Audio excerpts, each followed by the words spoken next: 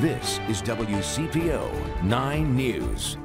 Thank you for joining us for WCPO 9 News. I'm Tanya O'Rourke. Here's a look at some of today's top stories. A Middletown woman is now charged with the murder, with murder that is following a shooting. Police responded to Lafayette Avenue for reports of a woman who shot her sister just before 9 this morning. When they got there, they found a woman with a gunshot.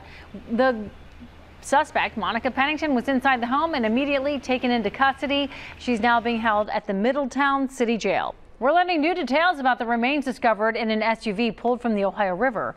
The Dearborn County coroner says the bone discovered was an adult left fibula and it was the only piece of human remains found in that vehicle. Now, we know the SUV belonged to Stephanie Nguyen. She was reported missing along with her two children in 2002. The coroner expects to get the DNA results from the bone in the next two weeks. You still have just a few more hours now to make your opinions heard about the Cincinnati Archdiocese plan to consolidate its 208 churches into just 60 parish families. The Archdiocese has gotten more than 5,000 comments about the plan so far. The most pressing question is which churches will close.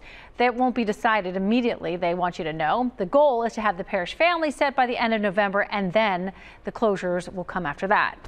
Now let's get it over to Chief Meteorologist Steve Raleigh. He has a look at your 9 first warning forecast. Steve? Yeah, Tanya, as we look at it, uh, generally some clear skies until we roll through the next couple of hours. It's Going to be cloudy then. We're going to see the clouds move in, leading to some showers for tomorrow. 58 degrees, some rain early during rush hour, and then looks like we'll go partly cloudy in the afternoon. I've got 69 as a high, but cooler air comes in on Friday. Mostly cloudy skies. There's a slight chance, but more clouds than anything else, and that 59 just as a high. Temperatures come back more seasonally on Saturday and Sunday in my forecast. Right now, making strides looks fine. It Looks like some showers for Sunday.